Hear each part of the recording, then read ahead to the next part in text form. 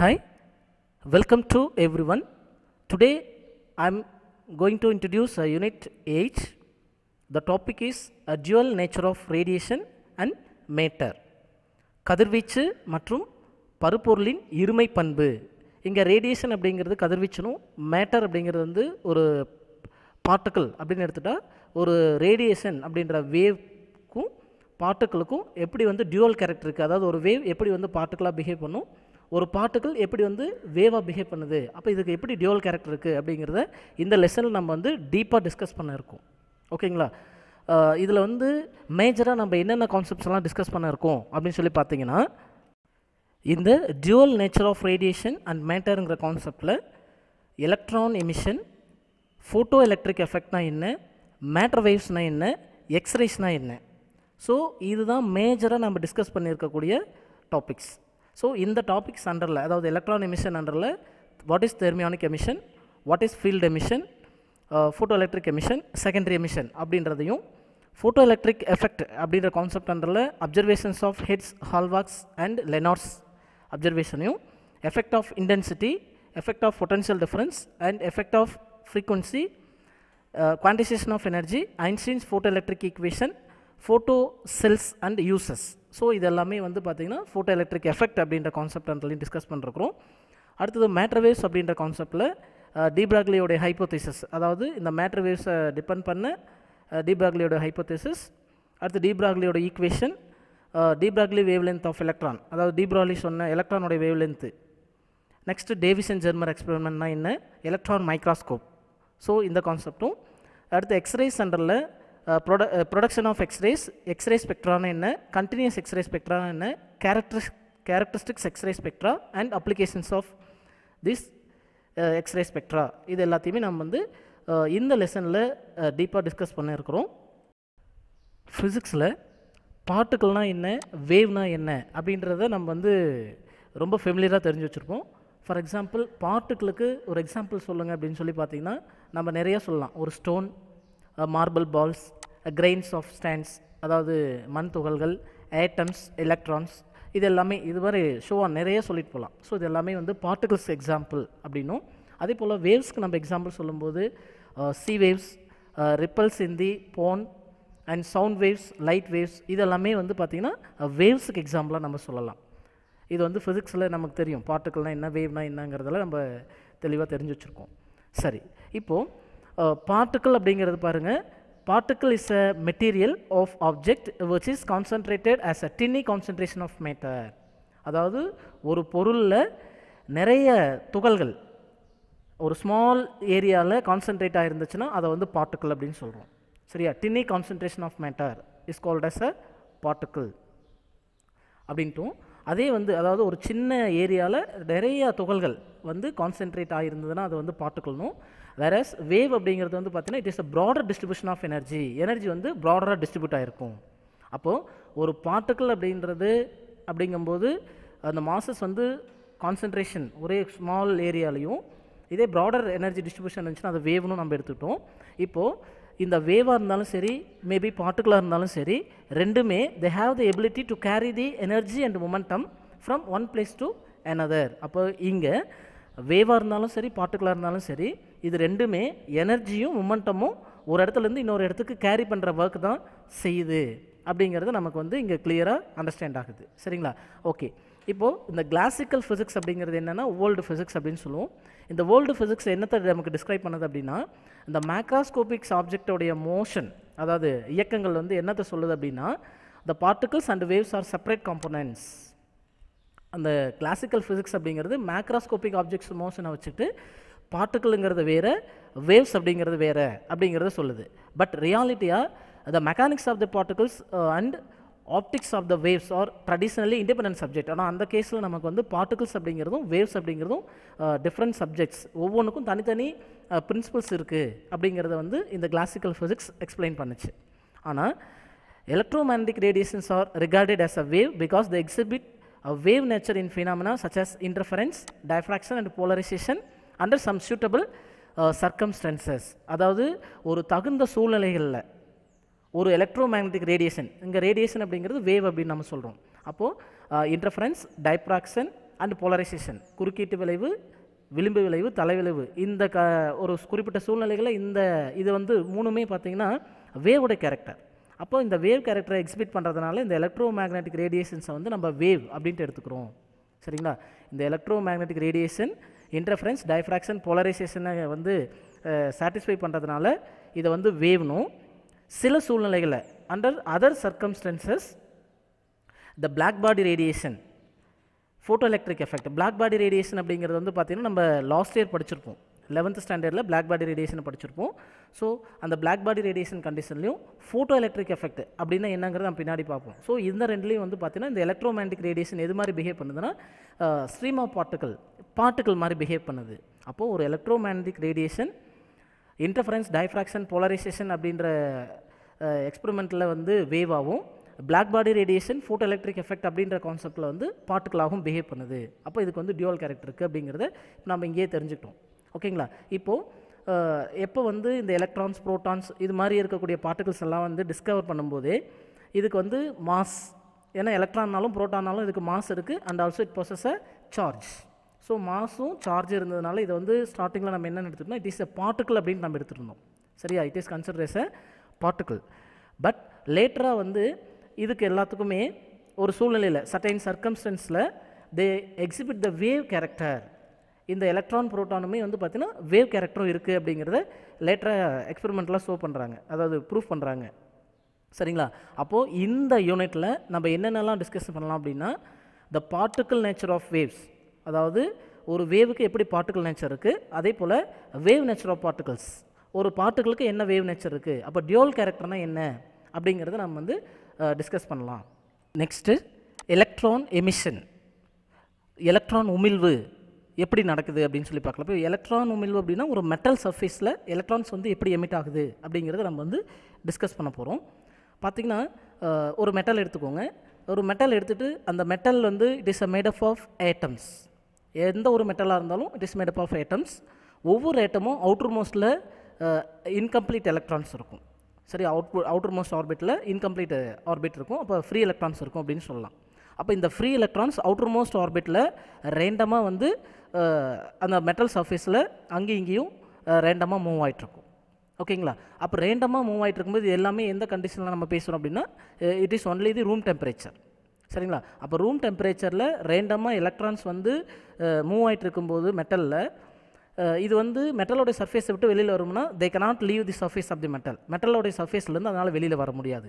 ஏன் அப்படின்னு சொல்லி பார்த்தீங்கன்னா the electrons are bounded with nucleus of the atom அந்த ஏட்டத்தில் இருக்கக்கூடிய நியூக்ளியஸ்னால அந்த எலக்ட்ரான்ஸ் அவுட்டர் மோஸ்ட் எலக்ட்ரான்ஸ் வந்து பவுண்ட் ஆகிருக்கும் ஸோ அப்போது அந்த எலக்ட்ரான் வந்து அந்த சர்ஃபேஸ் ஆஃப் தி மெட்டல்லேருந்து அதாவது ரிலீஸ் ஆகி வெளியில் வரதுக்கு தேவையான எனர்ஜி அந்த எலக்ட்ரானுக்கு இல்லை அப்படின்னு சொல்லலாம்.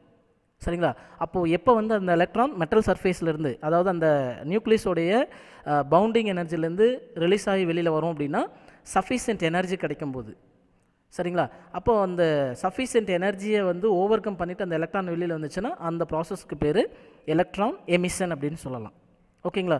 அப்போது அந்த எலக்ட்ரான் வெளியில் வரத்துக்கு தேவையான எனர்ஜி நம்ம வந்து சப்ளை பண்ணோம் இல்லைங்களா? அந்த எனர்ஜியை வந்து நம்ம எவ்வளோ அது இன்கேஸ் தெர்மல் எனர்ஜியாவோ அல்லது வேறு ஏதாவது ஃபார்ம் ஆஃப் எனர்ஜியாவோ நம்ம வந்து அந்த மெட்டல் சர்ஃபேஸ்க்கு உள்ள எலக்ட்ரானுக்கு நம்ம சப்ளை பண்ணலாம். ஓகேங்களா? அப்போது அந்த எலக்ட்ரானை எமிட் அதாவது நார்மலாக வந்து ரிலீஸ் ஆகிறதுக்கு இல்லாமல் அந்த பவுண்ட் பண்ணியிருக்கக்கூடிய அந்த சர்ஃபேஸோடைய கேரக்டருக்கு பேர் சர்ஃபேஸ் பேரியர் அப்படின்னு சொல்லுவோம். ஸோ இதெல்லாமே என்னங்கிறத நம்ம இப்போ பார்க்கலாம்.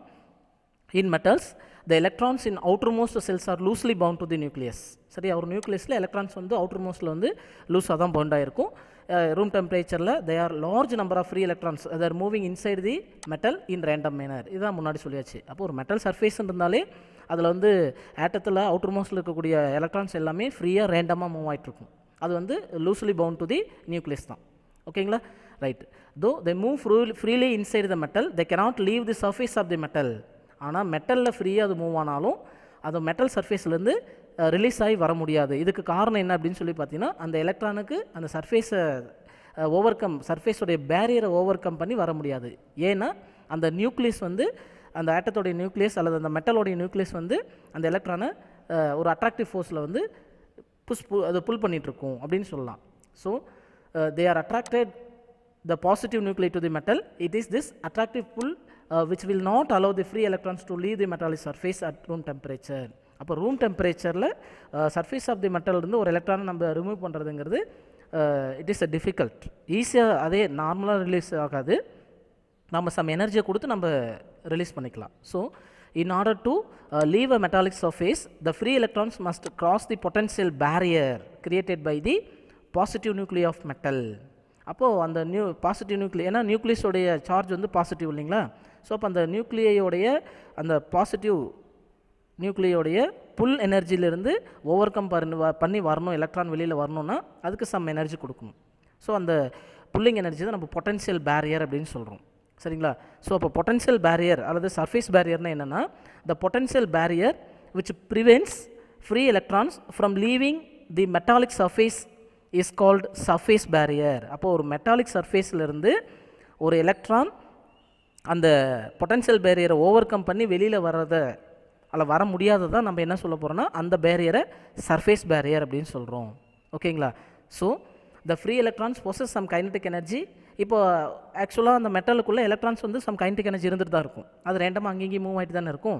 அப்போ ஒவ்வொரு எலக்ட்ரானுக்கும் I mean different electron for different energy ஒவ்வொரு எலக்ட்ரானுக்கும் ஒவ்வொரு மாதிரியான எனர்ஜி இருக்கும். ஃபார் அதே போல் the kinetic energy of the free electron is not sufficient to overcome the barrier அப்போ அந்த மெட்டலுக்குள்ளே இருக்கும்போது அந்த எலக்ட்ரானுக்கு அந்த பட்ட அந்த பேரியரை ஓ சர்ஃபேஸ் பேரியரை வந்து ஓவர் கம் பண்ணி வெளியில் வர முடியாது.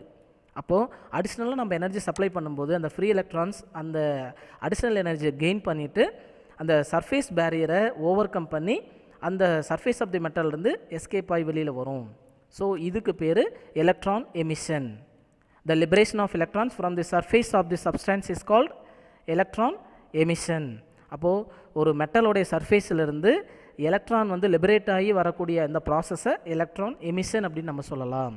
சரிங்களா?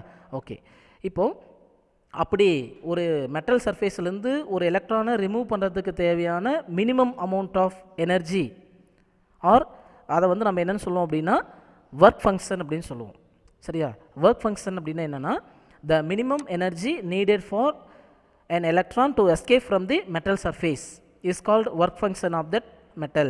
For example ஏதாவது ஒரு மெட்டல் எடுத்துக்கலாம். இப்போ ஒரு மெட்டல் எடுத்துட்டோம்னா அந்த மெட்டல்ல இருந்து உள்ளுக்குள்ளே இருக்கக்கூடிய அந்த ஃப்ரீ எலக்ட்ரானை ஒரு எலக்ட்ரானை ரிமூவ் பண்ணுறதுக்கு தேவையான மினிமம் அமௌண்ட் ஆஃப் எனர்ஜி அப்படிங்கிறத நம்ம என்ன சொல்கிறோம்னா ஒர்க் ஃபங்க்ஷன் அப்படின்னு சொல்கிறோம் அப்போ ஒர்க் ஃபங்க்ஷன் எப்படி டினோட் பண்ணுவோம் அப்படின்னா பை நாட் அப்படின்ற லெட்டரால் டினோட் பண்ணுறோம் அதே போல் இதனோட யூனிட் அப்படின்னு சொல்லி பார்க்கும்போது எலக்ட்ரான் வோல்ட் அப்படின்னு சொல்லுவோம். ஆக்சுவலாக பொட்டென்ஷியல் அல்லது எனர்ஜி அப்படின்றதுக்கான யூனிட் நம்ம எஸ்ஐ யூனிட் வந்து பார்த்திங்கன்னா ஜூல்னு தான் சொல்லியிருப்போம்.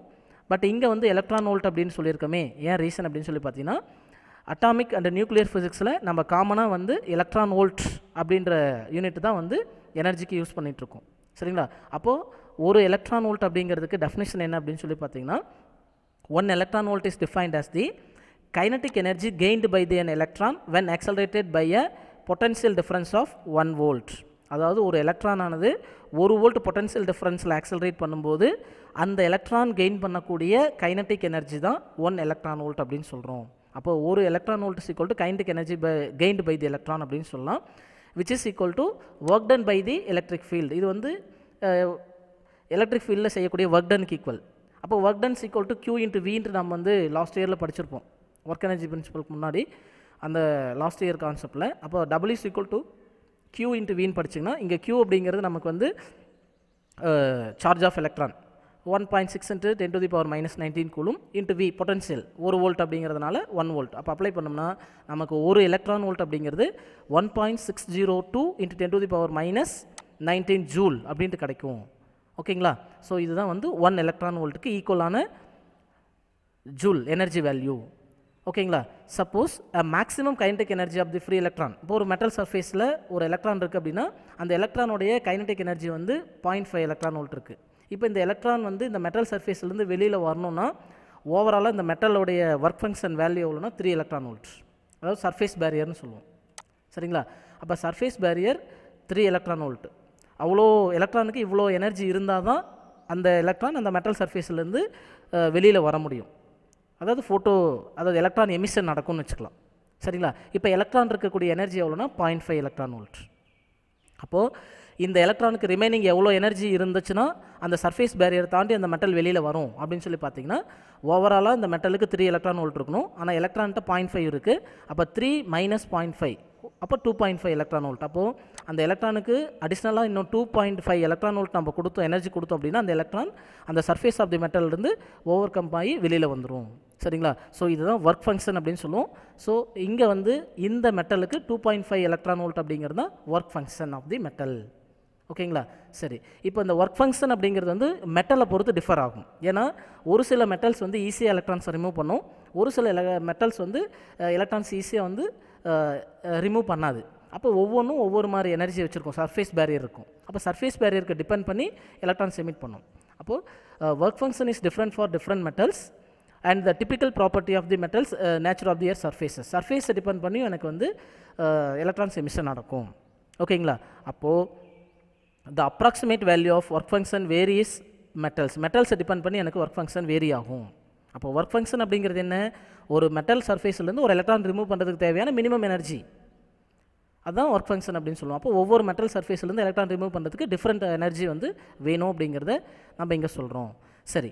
இப்போது ஒரு மெட்டீரியலில் இருக்குது அப்படின்னா அந்த மெட்டீரியலுக்கு ஒர்க் ஃபங்க்ஷன் வேல்யூ லோவாக இருக்கணுமா ஹையாக இருக்கணுமா அப்படின்னு சொல்லி பார்த்தீங்கன்னா நம்ம எலக்ட்ரான் எமிஷன் ப்ராசஸ் தான் பண்ணிகிட்ருக்கோம் அப்படிங்கும்போது எனக்கு வந்து ஒரு மெட்டீரியல் ஒர்க் ஃபங்க்ஷன் கம்மியாக இருக்கிற மெட்டீரியலாக இருந்துச்சுன்னா ஈஸியாக ஸ்மால் அமௌண்ட் ஆஃப் எனர்ஜியை வச்சு லார்ஜ் எலக்ட்ரான்ஸை ரிமூவ் பண்ணிக்கலாம்.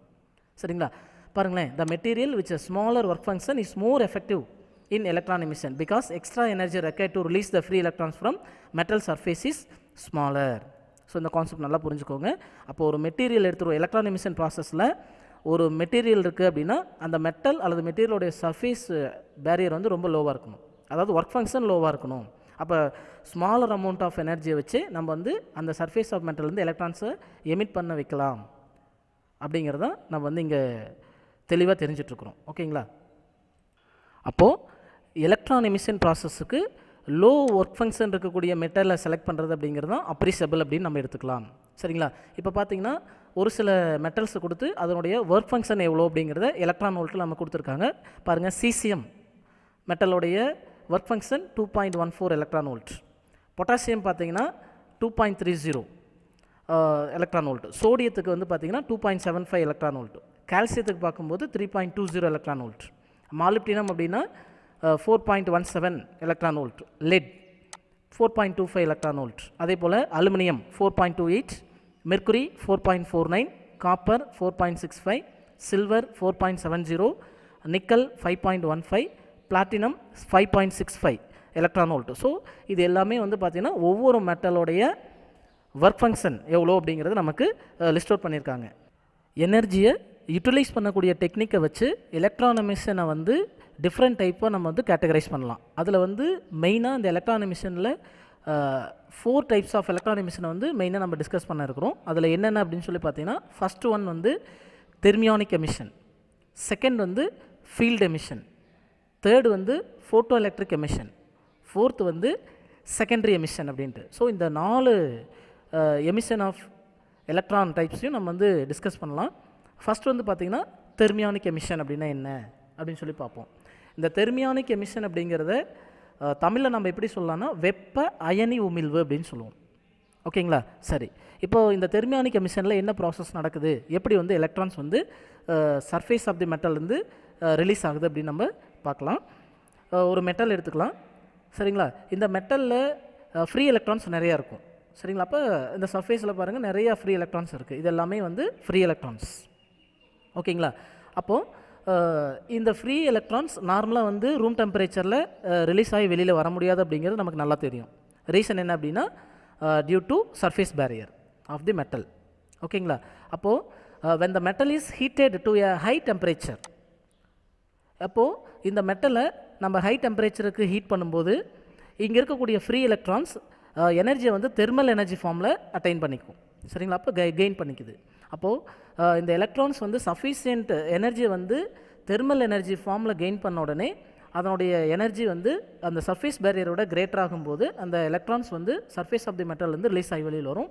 ஸோ இந்த டைப் ஆஃப் எமிஷனுக்கு பேர் தெர்மியானிக் எமிஷன் அப்படின்னு நம்ம சொல்கிறோம் ஓகேங்களா so the free electrons on the surface of the metal get sufficient energy in the form of thermal energy so they are emitted in the metallic surface this type of emission is known as thermionic emission ஓகேங்களா so இப்போது இந்த thermionic எமிஷனில் ஐ மீன் அந்த electron வந்து remove ஆகுது இல்லைங்களா? அப்போ remove ஆகிறது number of electrons வந்து கிரேட்டராக இருக்குமா லெஸராக இருக்குமா? அப்போ அந்த எமிஷன் ஆஃப் எலக்ட்ரான்ஸ் எதை டிபெண்ட் பண்ணியிருக்கும்? அப்படின்னா intensity of the thermionic emission depends on the metal used and its temperature அப்போ நம்ம யூஸ் பண்ணக்கூடிய மெட்டல் சர்ஃபேஸுக்கு ஒர்க் ஃபங்க்ஷன் லோவாக இருந்தாலோ அல்லது வந்து டெம்பரேச்சர் ஹையாக இருந்தாலோ அதை டிபெண்ட் பண்ணி எனக்கு வந்து என்ன ஆகுனா எலக்ட்ரான் எமிஷன் இருக்கும். சரிங்களா? ஸோ எக்ஸாம்பிள்ஸ் அப்படின்னு சொல்லி பார்க்கும்போது கேத்தோட் ரே டியூப்ஸ் நம்ம வந்து இந்த டிவி பார்க்கும்போது அந்த பிக்சர் டியூப்ஸ் இருக்கு இல்லைங்களா? ஸோ அதுதான் கேத்தோட் ரே டியூப்ஸ் அப்படின்னு சொல்லுவோம். ஸோ அதில் நம்ம இந்த ப்ராசஸ் யூஸ் பண்ணுறோம் அடுத்தது எலக்ட்ரான் மைக்ராஸ்கோப் எலக்ட்ரான் மைக்ராஸ்கோப்னா என்னங்கிறத பின்னாடி டீப்பாக டிஸ்கஸ் பண்ணியிருக்கோம் அதே போல் எக்ஸ்ரே டியூப்ஸ் ஸோ இதில் எல்லாத்துலேயுமே நம்ம வந்து இந்த தெர்மியானிக் எமிஷன் அப்படின்ற ப்ராசஸை யூஸ் பண்ணி தான் எலக்ட்ரான்ஸ் வந்து மெட்டல் சர்ஃபேஸ்லேருந்து ரிமூவ் பண்ணுறோம் ஓகேங்களா பார்த்தீங்கன்னா இங்கே ஒரு டயக்ராம் கொடுத்துருக்கான் பாருங்கள் ஒரு ஹாட் ஃப்ளமெண்ட் இந்த ஃப்ளமெண்ட் கூட ஒரு பேட்டரி கனெக்ட் பண்ணியிருக்காங்க இந்த இடத்துல ஹை பொட்டன்ஷியல் கொடுக்கும்போது ஐ மீன் ஹீட் ஆகும்போது இந்த ஃபிலமெண்ட் ஹீட் ஆகும்போது நமக்கு அதுலேருந்து எலக்ட்ரான்ஸ் வந்து எமிட் ஆகுது. சரிங்களா? இது வந்து cathode tube or X ray டியூப்லேருந்து இந்த ப்ராசஸில் தான் நமக்கு வந்து எலக்ட்ரான்ஸ் எமிஷன் ஆகுது அப்படிங்கிறத சொல்லியிருக்கான். இந்த ப்ராசஸுக்கு பேர் தெர்மியானிக் எமிஷன் நெக்ஸ்ட் வந்து ஃபீல்ட் எமிஷன் ஃபீல்ட் எமிஷன் அப்படின்னா என்னென்னா ஃபீல்டை வச்சு நம்ம வந்து எலக்ட்ரான்ஸ் வந்து ரிமூவ் பண்ணக்கூடிய ப்ராசஸ் தான். ஓகேங்களா ஸோ ஓகே இப்போ பாருங்கள் ஒரு மெட்டல் எடுத்துக்கலாம். இந்த மெட்டலில் இருக்கக்கூடிய இந்த ஃப்ரீ எலக்ட்ரான்ஸ் வந்து சர்ஃபேஸ் பேரியர்னால ரிமூவ் ஆகாமல் வெளியில் வராமல் உள்ளுக்குள்ளேயே வந்து ரேண்டமாக மூவ் ஆகிட்ருக்கும் இதை வந்து ஒரு ஸ்ட்ராங் எலக்ட்ரிக் ஃபீல்டில் ப்ளேஸ் பண்ணும்போது நமக்கு என்னென்னா ஃபீல்டு வந்து எப்பயுமே field lines positive to negative போயிட்டுருக்கும். அப்படி போயிட்டு இருக்கும்போது அந்த இன்பிட்வீனில் ஒரு மெட்டலை ப்ளேஸ் பண்ணும்போது இந்த field lines strong electric field என்ன பண்ணும் அப்படின்னா இந்த மெட்டல் சர்ஃபேஸில் இருக்கக்கூடிய அந்த ஃப்ரீ எலக்ட்ரான்ஸை ஒரு சம் எனர்ஜி கொடுத்து புல் பண்ணும். எந்த டைரக்ஷனில் எலக்ட்ரான் அப்படிங்கிறது நெகட்டிவ் சார்ஜ் அதனால் பாசிட்டிவ் டெர்மினல் நோக்கி புல் பண்ணும். அப்போது இது வந்து பாசிட்டிவ் டெர்மினல் நோக்கி மூவ் ஆகும்.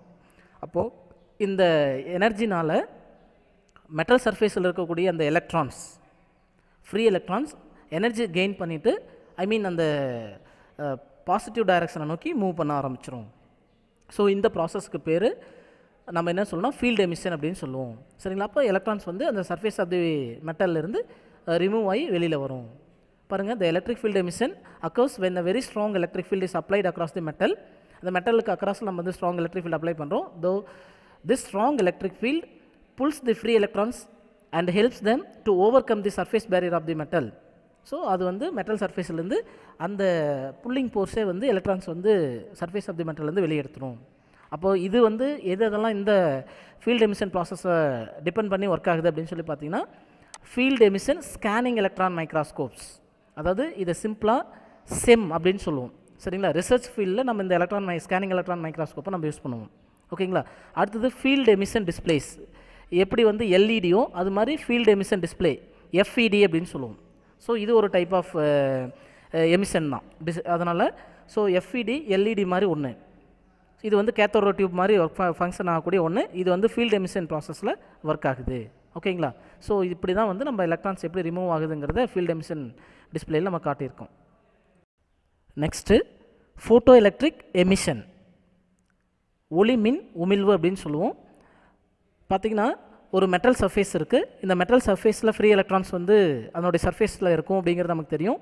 வெந்த the electromagnetic radiation of a suitable frequency is incident on the surface of the metal the energy is transferred from uh, radiation to the electrons get sufficient energy to cross the surface barrier and photoelectrons emission takes place. So the number of electrons emitted depends on the intensity of the incident radiation. பார்த்தீங்கன்னா இப்போ பாருங்களேன். இங்கே சொல்லியிருக்கிற concept படி நமக்கு இது ஒரு metal surface இந்த மெட்டல் சர்ஃபேஸில் ஃப்ரீ எலக்ட்ரான்ஸ் இருக்குது இந்த ஃப்ரீ எலக்ட்ரான்ஸ் இருக்கக்கூடிய இந்த மெட்டல் சர்ஃபேஸில் ஒரு சூட்டபிள் ஃப்ரீக்வன்சியில் ஒரு ரேடியேஷன் வந்து விழுகுது. அப்போ அந்த ரேடியேஷன் இன்சிடென்ட் ஆகும்போது இந்த ரேடியேஷன் இருக்கக்கூடிய எனர்ஜியை இந்த ஃப்ரீ எலக்ட்ரான்ஸ் கெயின் பண்ணிக்கிட்டு சஃபிஷியன்ட் எனர்ஜி கிடைச்ச உடனே இந்த சர்ஃபேஸ் பேரியரை விட்டு எலக்ட்ரான்ஸ் வந்து வெளியில் வரும். ஸோ இப்படி எலக்ட்ரான்ஸ் எமிட் பண்ணக்கூடிய இந்த ப்ராசஸ்க்கு பேர் தான் நம்ம வந்து ஃபோட்டோ எலக்ட்ரிக் எமிஷன் அப்படின்னு சொல்கிறோம் சரிங்களா? அப்போது இங்கே எவ்வளோ நம்பர் ஆஃப் எலக்ட்ரான்ஸ் வந்து எமிட் ஆகும் அப்படின்னு சொல்லி பார்த்தீங்கன்னா இங்கே இன்சிடென்ட் ஆகக்கூடிய ரேடியேஷனோட இன்டென்சிட்டியை டிபெண்ட் பண்ணி எனக்கு வந்து நம்பர் ஆஃப் எமிஷன் வந்து வேரி ஆகும். ஓகேங்களா அப்போ இது எக்ஸாம்பிள்ஸ் என்னென்னலாம் வந்து இந்த ஃபோட்டோ எலக்ட்ரிக் எமிஷன் டிபெண்ட் பண்ணி ஒர்க் ஆகுதுன்னா ஃபோட்டோ டயோட்ஸ் இந்த ஃபோட்டோ டயோட்ஸ் அப்படிங்கிறது என்னங்கிறது நம்ம நைன்த் லெசனில் படிப்போம். அடுத்து ஃபோட்டோ எலக்ட்ரிக் செல்ஸ் இந்த ஃபோட்டோ எலக்ட்ரிக் செல்ஸ் நம்ம கேள்விப்பட்டிருப்போம். ஸோ இந்த ஃபோட்டோ எலக்ட்ரிக் செல்ஸும் ஃபோட்டோ டயர்ஸும் இந்த கான்செப்டை டிபெண்ட் பண்ணி தான் வந்து ஃபங்க்ஷன் ஆகுது. நெக்ஸ்ட் வந்து பார்த்திங்கன்னா செகண்டரி எமிஷன் ஸோ ரொம்ப சிம்பிள் இந்த செகண்டரி எமிஷன் அப்படிங்கிறது இந்த மெட்டல் சர்ஃபேஸில் இருக்கக்கூடிய இந்த எலக்ட்ரான்ஸை ஹை ஸ்பீட் எலக்ட்ரான்ஸ் அதாவது ரொம்ப ஹை ஸ்பீட்லேருந்து வரக்கூடிய பீம் ஆஃப் எலக்ட்ரான்ஸ் வந்து பாஸ் பண்ணும்போது இந்த எலக்ட்ரான்ஸுக்கு ஹை கைனட்டிக் எனர்ஜி இருக்கும். சரியா? அப்போது இந்த ஹை கைனட்டிக் எனர்ஜி எலக்ட்ரான்ஸ் வந்து இந்த சர்ஃபேஸில் இன்சிடெண்ட் ஆகும்போது இதுக்கிட்ட இருக்கக்கூடிய எனர்ஜியை இந்த ஃப்ரீ எலக்ட்ரான்ஸ் கெயின் பண்ணிவிட்டு அது வந்து சர்ஃபேஸ் ஆஃப் தி மெட்டல்லேருந்து ரிலீஸ் ஆகி வெளியில் போகும். ஸோ இந்த மாதிரி எமிஷனுக்கு பேர் செகண்டரி எமிஷன் அப்படின்னு சொல்லுவோம். ஓகேங்களா? ஸோ அப்போது இந்த ச வரக்கூடிய ஹை ஸ்பீட் எலக்ட்ரான்ஸ்லேருந்து கைனடிக் எனர்ஜியை ஃப்ரீ எலக்ட்ரான்ஸுக்கு கொடுத்துட்டு அந்த எனர்ஜியை வச்சுட்டு எலக்ட்ரான்ஸ் ரிமூவ் ஆகக்கூடிய இந்த ப்ராசஸை செகண்டரி எமிஷன் சொல்லுவோம். இது வந்து பார்த்திங்கன்னா image intensifiers and photomultiplier tubes இதெல்லாமே வந்து இந்த செகண்டரி எமிஷன் ப்ராசஸில் ஃபங்க்ஷன் ஆகுது.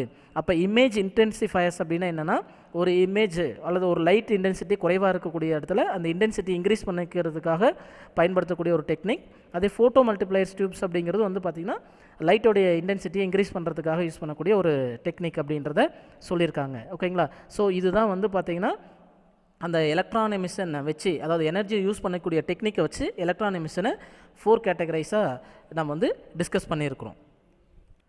நெக்ஸ்ட்டு இந்த ஃபோட்டோ எலக்ட்ரிக் எஃபெக்டை பற்றி Hertz observation Hallwachs and Lenard's observation என்ன சொல்லுது அப்படின்னு சொல்லி பார்க்கலாம். ஃபஸ்ட் வந்து ஹெட்ஸ் அப்சர்வேஷன் என்ன சொல்லுதுன்னு பார்ப்போம். சரிங்களா? இப்போது இந்த எலக்ட்ரோ மேக்னெட்டிக் வேவ்ஸை எக்ஸிஸ்ட் ஆகிருக்கு அப்படிங்கிறத ஃபஸ்ட் ஃபஸ்ட்டு இந்த Maxwell's theory of electro magnetism தான் வந்து ஃபஸ்ட் ஃபஸ்ட்டு ப்ரிடிக்ட் பண்ணுச்சு. ஃபைனலாக வந்து பார்த்திங்கன்னா லைட் அப்படிங்கிறது it is an electromagnetic wave one of the electromagnetic wave அப்படிங்கிறதையும் நமக்கு தெரியும் சொல்கிறாங்க சரிங்களா? எங்கே படித்தோம் அப்படின்னா நம்ம ஃபிஃப்த் லெசனில் படிச்சிருக்கோம். சரிங்களா? அதுக்கப்புறம் தான் நிறைய சயின்டிஸ்ட் வந்து அந்த எலக்ட்ரோ மேக்னெட்டிக் வேவ்ஸை ஜென்ரேட் பண்ணுறதுக்கும் டிடெக்ட் பண்ணுறதுக்கும் எக்ஸ்பெரிமெண்ட் மூலிமா வந்து ட்ரை பண்ணுறாங்க இதில் வந்து பார்த்திங்கன்னா எயிட்டீன் எயிட்டி செவனில் ஹெட்ஸ் அப்படிங்கிற ஒரு சக்ஸஸ்ஃபுல்லாக வந்து எலக்ட்ரோ மேக்னெட்டிக் வேவ்ஸ் வந்து ஜென்ரேட் பண்ணி அதை டிடெக்ட் பண்ணியும் காட்டினார். இதை வந்து ஃபிஃப்த் லெசனில் நம்ம டீட்டெயில்டாக ஹெட்ஸ் எக்ஸ்பெரிமெண்ட்டில் டிஸ்கஸ் பண்ணியிருக்கோம். ஓகேங்களா? சரி. இப்போது அந்த ஹெட்ஸ் எக்ஸ்பெரிமெண்ட்டில் எப்படி வந்து இந்த எலக்ட்ரோ மேக்னட்டிக் வேவ்ஸ் வந்து டிடெக்ட் பண்ணார் அப்படின்னு சொல்லி பார்த்தீங்கன்னா இவர் வந்து அந்த எக்ஸ்பெரிமெண்ட்டுக்கு யூஸ் பண்ணது high voltage induction coil use பண்ணார். சரிங்களா? அந்த காயில் வந்து பார்த்தீங்கன்னா ஃபைனலாக எங்கே ஜாயிண்ட் ஆகிருந்ததுன்னா ரெண்டு மெட்டல் எலக்ட்ரோட்ஸ் அதாவது ஸ்ப சின்ன ஸ்பியர் சார் இருக்கக்கூடிய ரெண்டு மெட்டல் எலக்ட்ரோட்ஸில் ஜாயிண்ட் ஆயிருந்தது. அந்த ரெண்டு மெட்டல் எலக்ட்ரோட்ஸ்க்கும் இடையில் வந்து இதை டிஸ்சார்ஜ் ஆகும்போது சரியா? அந்த டிஸ்சார்ஜ் நடக்கும்போது ஒரு ஸ்பார்க் ப்ரொடியூஸ் ஆகும். சரிங்களா? அந்த ப்ரொடியூஸ் ஆகக்கூடிய ஸ்பார்க் வந்து சார்ஜஸ் வந்து ஆஸ்லேட் பண்ணுச்சு. அதாவது ஃபார்வேர்ட்லேயும் பேக்வேர்ட்லேயும் சரியா? அதனால் வந்து எலக்ட்ரோ மேக்னட்டிக் வேவ்ஸ் வந்து ப்ரொடியூஸ் ஆச்சு அப்படிங்கிறத ஹெட்ஸ் எக்ஸ்பெரிமெண்ட் மூலிமா ஹெட்ஸ் வந்து ப்ரூவ் பண்ணார். ஓகேங்களா?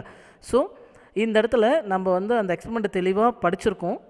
நல்ல மைண்டில் வந்து ரீகால் பண்ணிங்கன்னா உங்களுக்கு புரியும். அதாவது ஒரு ஹை இண்டக்ஷன் காயில் அந்த இண்டக்ஷன் காயிலுக்கு நம்ம வந்து ஒரு பேட்டரி மூலிமா சப்ளை கொடுப்போம். ஹை டென்ஷன் பேட்டரி மூலிமா சப்ளை கொடுத்துருப்போம் இந்த காயிலோடைய ரெண்டு டெர்மினல்ஸும் ஃபைனலாக வந்து பார்த்திங்கன்னா ரெண்டு ஸ்பியர் சேப்டு மெட்டாலிக் எலக்ட்ரோட்ஸ் மூலிமா கனெக்ட் பண்ணியிருக்கோம் அப்படின்னு சொல்லியிருப்போம். எப்போ வந்து நம்ம ஹை வோல்டேஜ் அங்கே ப்ரொவைட் பண்ணுறோமோ அப்போ வந்து நமக்கு பார்த்தீங்கன்னா அந்த ரெண்டு மெட்டல் எலக்ட்ரோஸ்க்கு இடையில் ஸ்பார்க் ப்ரொடியூஸ் ஆகும். அந்த ஸ்பார்க் வந்து உள்ளே இருக்கக்கூடிய சார்ஜஸ் வந்து ஆஸ்குலேட் பண்ணதுனால நமக்கு எலக்ட்ரோ வேஸ்ட் ப்ரொடியூஸ் ஆச்சு அப்படிங்கிறத நம்ம தெளிவாக படிச்சிருக்கோம். ஓகேங்களா? சரி. அப்போது இந்த எலக்ட்ரோ மேக்னட்டிக் ப்ரொடியூஸ் ஆனது எலக்ட்ரோ மேக்னட்டிக் வேவ்ஸ் தான் அப்படிங்கிறத நம்ம கன்ஃபார்ம் பண்ணோம் அப்படின்னா அதுக்கு ஒரு டிடெக்டர் வச்சுருந்தாரு. அது வந்து பார்த்திங்கன்னா அந்த செட்டப்புக்கு கொஞ்சம் ஃபார் டிஸ்டன்ஸில் ஒரு காப்பர் ஒயரை வந்து சர்க்கிள் ஷேப்பில் பெண்ட் பண்ணி வச்சுருந்தார். அதுக்கு பேர் டிடெக்டர் அப்படின்னு சொல்லியிருப்போம். இந்த டிடெக்டர் மூலிமா வந்து இது எலக்ட்ரோ மேக்னட்டிக் வேவ்ஸ் தான் அப்படிங்கிறத டிடெக்ட் பண்ணாங்க. சரிங்களா? அப்போது இங்கே வந்து பார்த்திங்கன்னா எப்போ வந்து அந்த மெட்டல் எலக்ட்ரோட்ஸுக்கு இடையில ஒரு ஸ்பார்க் வருதோ அதே சமயத்தில் இங்கேயும் அந்த காப்பர் டிடெக்டார்லேயும் வந்து பார்த்திங்கன்னா அந்த ரெண்டு டெர்மினல்ஸ்க்கு கடையில் ஒரு ஸ்பார்க் ப்ரொடியூஸ் ஆச்சு. பட் இங்கே ப்ராப்ளம் என்ன அப்படின்னா டிடெக்டாரில் ப்ரொடியூஸ் ஆன அந்த டின்னி ஸ்பார்க்கை வந்து அப்சர்வ் பண்ணதில் கொஞ்சம் டிஃபிகல்ட்டிஸ் இருந்துச்சு. சரிங்களா? அப்போ இந்த டிஃபிகல்ட்டிஸு ஐ மீன் அந்த ஸ்பார்க்கை வந்து டின்னி ஸ்பார்க்கை கொஞ்சம் தெளிவாக அப்சர்வ் பண்ண முடியல. எங்கன்னா டிடெக்டாரில் அப்போது இதை இம்ப்ரூவ் பண்ணுறதுக்காக நம்ம என்ன பண்ணுறாரு அதாவது அந்த விசிபிலிட்டி இன்க்ரீஸ் பண்ணுறதுக்காக ஹெட்ஸ் நிறைய அட்டம்ப்டை மேட் பண்ணுறாரு அவரால் வந்து சக்ஸஸ் பண்ண முடியல. ஃபைனலாக என்ன பண்ணுறாரு அப்படின்னு சொல்லி பார்த்தீங்கன்னா ஒரு அல்ட்ரா வயலட் லைட்டை வந்து அந்த மேலே பாஸ் பண்ணுறாரு எது மேலேனா அந்த மெட்டல் எலக்ட்ரோட்ஸ் மேலே பாஸ் பண்ணும்போது அந்த ஸ்பார்க் வந்து ரொம்ப விக்ரஸானதை பார்க்குறாரு. சரியா? டிடெக்ட் பண்ணுறாரு அந்த டிடெக்டாரில் அப்போது இதனால தான் அதாவது இந்த அல்ட்ரா வயலட் லைட் வந்து அந்த எலக்ட்ரோட்ஸ் மேலே பாஸ் பார்க்குறதுனால தான் இந்த ப்ராசஸ் நடக்குது அப்படிங்கிறது அவரால் ஃபஸ்ட்டு அண்டர்ஸ்டாண்ட் பண்ணிக்க முடியல. பட் லேட்டராக வந்து என்ன சொல்கிறாங்கன்னா இது வந்து ஃபோட்டோ எலக்ட்ரிக் எமிஷன்னால தான் அப்படிங்கிறத கண்டுபிடிக்கிறாங்க. சரியா? So this is the reason அதாவது the reason for this behaviour of the spark was not unknown at that time later it was found that due to the photoelectric emission so லேட்டராக வந்து இந்த photo electric எமிஷன்னால தான் நமக்கு வந்து இந்த spark வந்து விகரஸாக மாறியிருக்கு அப்படிங்கிறத ஃபவுண்ட் பண்ணுறாங்க அப்போது whenever the ultraviolet light is incident on the metallic sphere the electrons on the outer surface are emitted which causes the spark to more vigorous அப்போ எப்பெல்லாம் வந்து அந்த மெட்டாலிக் ஸ்பியரோட சர்ஃபேஸில் வந்து அல்ட்ரா வயலட் லைட்டை பாஸ் பண்ணுறோமோ அப்போல்லாம் அந்த மெட்டாலிக் சர்ஃபேஸ்லேருந்து எலக்ட்ரான்ஸ் வந்து எமிட் ஆகுது. சரிங்களா? அப்போ எமிட் ஆகக்கூடிய அந்த எலக்ட்ரான்ஸ் தான் வந்து மோர் அதாவது ஸ்பார்க்காக ஃபார்ம் ஆகி நமக்கு வந்து விக்ரஸாக நமக்கு ரொம்ப அதிகமான விக்ரஸாக ஸ்பார்க் வர்றதுக்கான ரீசன் அப்படிங்கிறத ஃபோன் பண்ணுறாங்க சரிங்களா? ஸோ இந்த ஹெட்ஸ் எக்ஸ்பெரிமெண்ட்டு எலக்ட்ரோ மேக்னெட்டிக் வேவ்ஸை கன்ஃபார்ம் பண்ணது மட்டும் இல்லாமல் பார்ட்டிகளுக்கு வந்து ஐ மீன் லைட்டுக்கு வந்து பார்ட்டிகல் கேரக்டர் இருக்குது அப்படிங்கிறதையும் வந்து நமக்கு இங்கே ப்ரூவ் பண்ணிச்சு. சரியா? அப்போது it produces a first evidence for the particle nature of light லைட்டுக்கு வந்து பார்ட்டிகல் நேச்சர் இருக்குது அப்படிங்கிறதையும் சொன்னது இந்த ஹெட்ஸ் எக்ஸ்பெரிமெண்ட் தான். ஹால்வாக்ஸ் அப்படின்ற ஒரு ஜெர்மன் ஃபிசிசிஸ்ட் வந்து இந்த ஸ்ட்ரேஞ்ச் பிஹேவியர் ஆஃப் ஸ்பார்க்குக்கு ரீசன் வந்து பார்த்திங்கன்னா இந்த அல்ட்ரா வயலட் லைட் தான் அப்படிங்கிறத தன்னுடைய எக்ஸ்பெரிமெண்ட் மூலிமா கன்ஃபார்ம் பண்ணுறாரு அதுக்கு வந்து அவர் எடுத்துகிட்டது வந்து பார்த்திங்கன்னா ஒரு சிங்கு ஒரு சின்ன சர்க்குலர் ஜிங்க் பிளேட்டு அது வந்து மேலே ஒரு இன்சுலேட்டிங் ஸ்டாண்டில் மவுண்ட் பண்ணி அது கூட ஒரு ஒயர் மூலிமா ஒரு கோல்ட் லீஃப் எண்டோஸ்கோப்பை வந்து அட்டாச் பண்ணுறாரு இது மாதிரி. இது வந்து கோல்ட் லீஃப் சரிங்களா? ஒரு சின்ன தங்கத்தாலான ஒரு இலை. இதை வந்து ஒரு ஒயர் மூலிமா ஜிங்க் பிளேட்டில் அட்டாச் பண்ணி இந்த ஜிங்க் பிளேட்டை ஒரு இன்சுலேட்டட் ஸ்டாண்டில் சஸ்பெண்ட் பண்ணிட்டார். சரிங்களா? இப்போ ஜிங்க் வந்து இங்கே ப்ளஸ் கிடையாது. இதில் எதுவுமே ப்ளஸ் இருக்காது. எல்லாமே நியூட்ரலாக இருக்குங்கிறத அஷ்யூம் பண்ணிக்கலாம். இப்போது எப்போ வந்து ஒரு ஒரு ஆர்க்கில் இருந்து ஐ மீன் ஒரு சோர்ஸ்லேருந்து யூவி ரேஸ் வந்து இந்த ஜிங்க் பிளேட்டில் விழுகும்போது இந்த ஜிங்க் பிளேட்லேருந்து எலக்ட்ரான்ஸ் எமிட் ஆகி இந்த ஜிங்க் பிளேட் பாசிட்டிவ் ஆகிடுச்சு. அப்படி எலக்ட்ரான்ஸ் எமிட் ஆனால் ஆட்டோமேட்டிக்காக இது பாசிட்டிவ் சார்ஜாக மாறுங்களா? ஸோ இந்த பாசிட்டிவ் சார்ஜ் இங்கேயும் ட்ரான்ஸ்ஃபர் ஆகுது. அப்போ இந்த கோல்ட் லீஃபுக்கு இடையிலையும் நமக்கு பாசிட்டிவ் சார்ஜஸ் வரும்போது ரெண்டும் வந்து இந்த லீஃப் வந்து ஓப்பன் ஆகிருக்கு சரி ஏதாவது ரிப்பல் பண்ணியிருக்குன்னு அர்த்தம். அப்போ லைக் சார்ஜஸ் ரிப்பல் பண்ணும். ஆக்சுவலாக இங்கே எமிட் ஆனது எலக்ட்ரான்ஸா அப்படிங்கிறது தெரியாது. இதை கன்ஃபார்ம் பண்ணுறதுக்காக செகண்டாக வந்து பார்த்திங்கன்னா ஒரு நெகட்டிவ் சார்ஜ் ஜிங்க் பிளேட்டை எடுத்துக்கிட்டு அது மேலே ரேடியேஷன்ஸை பாஸ் பண்ணும்போது இப்போ நெகட்டிவ் சார்ஜ் ஜிங்க் பிளேட்டை ஸ்டார்டிங்கில் எடுக்கும்போது இந்த கோல்ட் லீஃபுக்கு இடையிலையும் நமக்கு வந்து நெகட்டிவ் சார்ஜ் தான் இருக்கும். இது ரெண்டும் பார்த்தீங்கன்னா ஒன்றுக்கு ஒன்று அட்ராக்ட் பண்ணியிருந்திருக்கும். இப்போ இந்த ரேடியேஷன்ஸை பாஸ் பண்ணும்போது இந்த எலக்ட்ரான்ஸ் ரிமூவ் ஆக ரிமூவ் ஆகி இது பாசிட்டிவ் சார்ஜாக மாறும். அப்போ அகைன் ஃபைனலாக இது வந்து என்ன ஆயிருக்குன்னா அட்ராக்ஷன் நடந்திருக்கு. அப்போ ப்ளஸ் மைனஸும் நமக்கு மாறி மாறி வந்திருக்கு. அப்போ எலக்ட்ரான்ஸ் தான் எமிட் ஆகுதுங்கிறதை கன்ஃபார்ம் பண்ணுறதுக்காக மறுபடியும் ஒரு எக்ஸ்பெரிமெண்ட் செய்கிறாங்க என்ன அப்படின்னு சொல்லி பார்த்தீங்கன்னா இந்த ப்ராசஸ் கண்டினியூ ஆகும்போது இது எல்லாமே இந்த எலக்ட்ரான்ஸ் ரிமூவ் ஆக ரிமூவ் ஆக இங்கே ப்ளஸ்ஸாக மாறும். அப்போ ப்ளஸ்ஸாக மாறிச்சுன்னா இது எல்லாமே சேர்ந்து ஃபஸ்ட்டு அட்ராக்டிவ் ஃபோர்ஸாக இருந்த இந்த லீஃபு ஃபைனலாக வந்து ஒன்று ஒன்று ரிப்பல் பண்ண ஆரம்பிச்சிருச்சு. ஸோ அப்போது இங்கே இருந்தது என்னென்னா எலக்ட்ரான்ஸ் தான் எமிட் ஆகுது அப்படிங்கிறத இந்த எக்ஸ்பெரிமெண்ட்டில் ஃபைனலாக கன்க்ளூட் பண்ணுறாங்க so these observations was concluded that the negatively charged electrons were emitted from the zinc plate under the action of ultraviolet light. அப்போ இந்த அல்ட்ராவயலட் லைட்டு இந்த ஜிங்க் பிளேட்டில் விழுகும்போது எலக்ட்ரான்ஸ் தான் எமிட் ஆகுது அப்படிங்கிறத இந்த ஹால்வாக்ஸ் எக்ஸ்பெரிமெண்ட் மூலிமா நம்ம கன்ஃபார்ம் பண்ணிக்கலாம். ஓகேங்களா சரி. நெக்ஸ்ட்டு லெனார்ட்ஸ் அப்சர்வேஷன் இந்த லெனார்ட்ஸ் அப்சர்வேஷனில் வந்து பார்த்திங்கன்னா இவரும் வந்து அந்த எலக்ட்ரான் எமிஷனை பற்றி தான் டிஸ்கஸ் பண்ணுறாரு இப்போ வந்து பார்த்திங்கன்னா இந்த லெனார்ட்ஸ் அப்சர்வேஷன் எக்ஸ்பெரிமெண்ட்டில் இவர் எடுத்துக்கிட்டது வந்து ஒரு குவாட்ஸ் பல்பு இந்த குவார்ட்ஸ் பல்ப் வந்து ஈவாக்குவேட்டட் குவார்ட்ஸ் பல்ப் இதில் வந்து ஒரு சிஏ அதாவது சிங்கிறது கேத்தோட் ஏங்கிறது ஆனோடு ரெண்டு எலக்ட்ரோட்ஸ் எடுத்துக்கிறாங்க. ரெண்டு எலக்ட்ரோட்ஸும் வந்து பார்த்திங்கன்னா ஒரு பேட்டரி மூலிமா கனெக்ட் பண்ணியிருக்கு. அது கூட வந்து ஆனோடுக்கு பக்கத்தில் ஒரு கேல்னாமீட்டரை கனெக்ட் பண்ணியிருக்கும். சரிங்களா? இதுதான் வந்து லெனார்ஸ் எக்ஸ்பெரிமெண்ட்டோடைய செட்டப் சரிங்களா?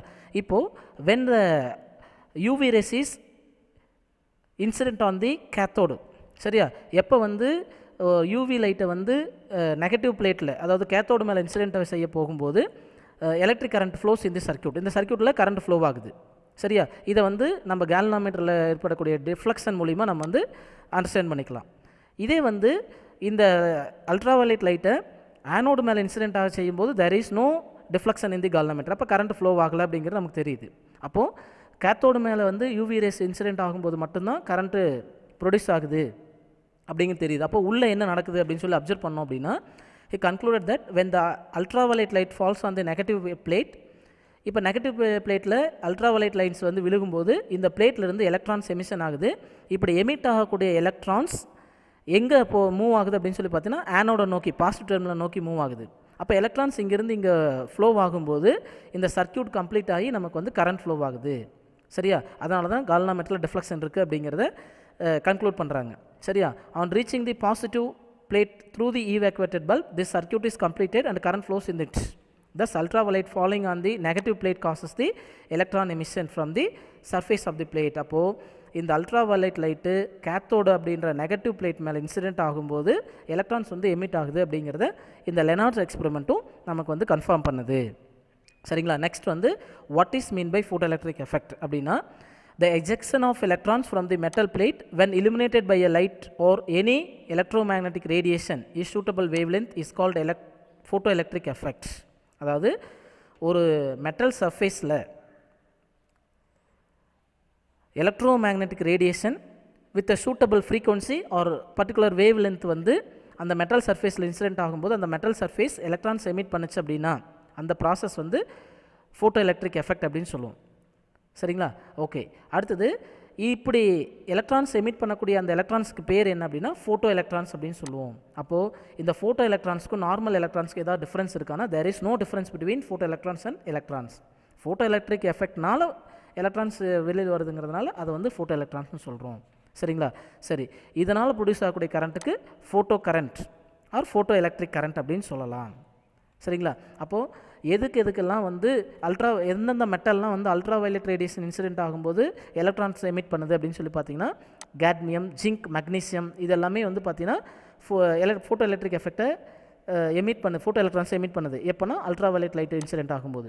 ஒரு சில மெட்டல்ஸ் வந்து அதாவது ஆல்கலி மெட்டல்ஸ் வந்து ஹை வேவ் லென்த் இருக்கக்கூடிய விசிபிள் லைட் இன்சிடென்ட் ஆகும்போதே நமக்கு வந்து எலக்ட்ரான்ஸ் எமிட் பண்ணும். அதெல்லாம் எது எதுன்னு பார்த்தீங்கன்னா லித்தியம் சோடியம் சீசியம் இந்த மெட்டல்ஸ் எல்லாமே ஹை வேவ் லென்த் இருக்கக்கூடிய விசிபிள் லைட் வந்து இன்சிடென்ட் ஆனால் கூட நமக்கு வந்து என்ன பண்ணும் அப்படின்னா எலக்ட்ரான்ஸ் எமிட் பண்ணும். சரிங்களா? ஸோ அப்போது the materials which ejects the photo electrons upon the irradiation of electromagnetic waves of suitable wave length are called photo sensitive materials அப்போது ஒரு மெட்டீரியலில் நம்ம இரேடியேஷன் அதாவது எலக்ட்ரோமேக்னட்டிக் வேவ்ஸை பாஸ் பண்ணும்போது அது ஃபோட்டோ எலக்ட்ரான்ஸ் எமிட் பண்ணாச்சுன்னா அந்த மெட்டல்ஸ் நம்ம என்னென்னு சொல்லலாம்னா ஃபோட்டோ சென்சிட்டிவ் மெட்டீரியல்ஸ் அப்படின்னு சொல்லலாம். சரிங்களா? அப்போ what is photo electric effect what is photo electrons what is photo current or photo electric current அதே போல் what is photo sensitive material அப்படின்ட்டு நம்ம இந்த கான்செப்டில் டிஸ்கஸ் பண்ணியிருக்கோம். Next effect of intensity of incident light on photo electric current அது ஒளி மின்னோட்டத்தின் மீதான படுகதிரின் செறிவு. அதாவது இன்சிடென்ட் ஆகக்கூடிய லைட்டோட இன்டென்சிட்டியை வச்சு எப்படி வந்து ஃபோட்டோ கரண்ட் வேரி ஆகுது அப்படின்றத பார்க்கலாம். இதுக்கான எக்ஸ்பெரிமெண்ட் செட்டப் டயக்ராமில் இங்கே நம்ம காட்டியிருக்காங்க. இப்போ பார்த்தீங்கன்னா இதில் வந்து ஃபோட்டோ எலக்ட்ரிக் எஃபெக்டை ஸ்டடி பண்ணுறதுக்காக கொடுக்கப்பட்ட எக்ஸ்பெரிமெண்ட்டில் எஸ் அப்படிங்கிறது சோர்ஸ் இது வந்து என்ன பண்ணுன்னா ஒரு எலக்ட்ரோ மேக்னெட்டிக் ரேடியேஷனை இப்படி வேவ்ஸை ப்ரொடியூஸ் பண்ணும். அதனுடைய ஃப்ரீக்குவன்சி நியூ அதனுடைய இன்டென்சிட்டி ஐன்னு எடுத்துக்கலாம். சரிங்களா?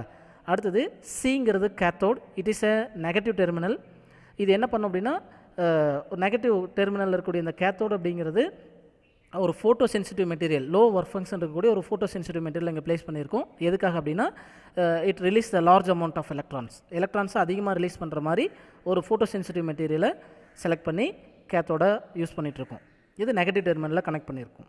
அடுத்தது ஏங்கிறது ஆனோடு இது வந்து பாசிட்டிவ் டெர்மினல் இது வந்து பார்த்திங்கன்னா இந்த கிளாஸ் டியூப்பில் அதாவது ஒரு ஈவேக்குவேட்டட் கிளாஸ் டியூப்பில் சீலேருந்து ஒரு பர்டிகுலர் டிஸ்டன்ஸில் ஆப்போசிட்டில் ஏ ப்ளேஸ் பண்ணியிருப்போம் இது ஆனோட் இது வந்து பாசிட்டிவ் டெர்மினலில் கனெக்ட் பண்ணியிருக்கோம் இந்த ஏ வந்து பார்த்திங்கன்னா சீலேருந்து அதாவது ஃபோட்டோ சென்சிட்டிவ் மெட்டீரியல்லேருந்து வரக்கூடிய இந்த எலக்ட்ரான்ஸை ஃபோட்டோ எலக்ட்ரான்ஸை ரிசீவ் பண்ணுற மாதிரி ப்ளேஸ் பண்ணியிருப்பாங்க சரிங்களா? அப்போ க இந்த எலக்ட்ரான்ஸை கலெக்ட் பண்ணுறது இந்த ஆனோடைய ஒர்க் ஓகேங்களா ரைட் அடுத்து அரேஞ்ச்மெண்ட் நெக்ஸ்ட் வந்து பார்த்தீங்கன்னா the necessary potential difference C and A is provided by high tension battery இங்கே பேட்ரி வந்து பார்த்தீங்கன்னா இங்கே இருக்குது இதுக்கு தேவையான அதாவது ஏக்கும் சிக்கும் இடையில் இருக்கக்கூடிய பொட்டன்ஷியல் டிஃப்ரென்ஸை யார் ப்ரொவைட் பண்ணுறாங்கன்னா இந்த பேட்ரி தான்.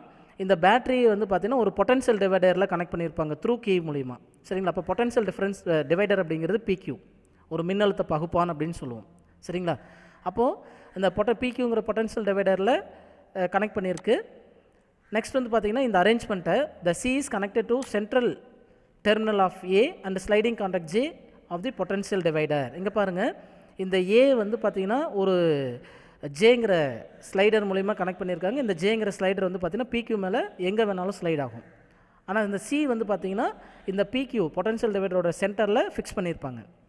சரிங்களா? அதை தான் இங்கே எக்ஸ்ப்ளனேஷன் கொடுத்துருக்கோம் அடுத்தது the is maintained at a desired positive or negative potential with respect to C so எதுக்காக வந்து சி டெர் சென்ட்ரல் டெர்மினல் பண்ணியிருக்காங்க அப்படின்னு சொல்லி பார்த்தீங்கன்னா இந்த சியை டிபெண்ட் பண்ணி ஏவானது பாசிட்டிவ் பொட்டன்ஷியலையும் மெயின்டைன் பண்ணலாம் ஆர் நெகட்டிவ் பொட்டன்ஷியலையும் மெயின்டைன் பண்ணலாம்.